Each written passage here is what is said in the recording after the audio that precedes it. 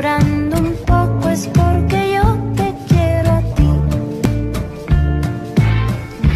Y tú te vas.